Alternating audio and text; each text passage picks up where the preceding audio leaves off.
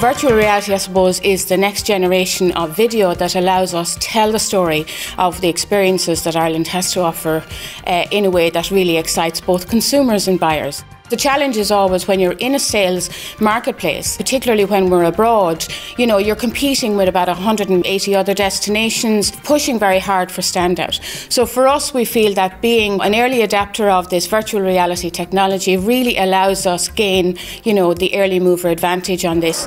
Oh my god. Oh, that's amazing. It's just amazing. Oh, I have to try it now, for real.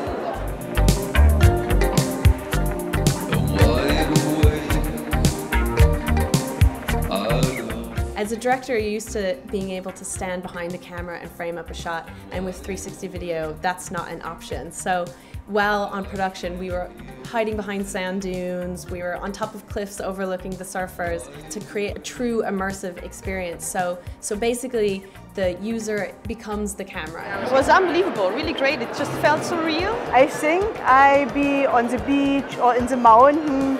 Oh, I got sweaty hands.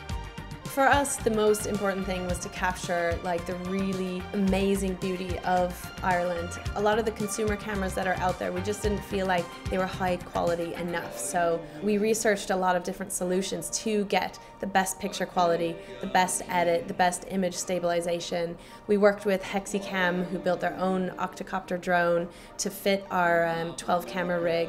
And we had a specialized uh, Steadicam operator who built us a rig for the 12 cameras that could be worn while doing these experiences.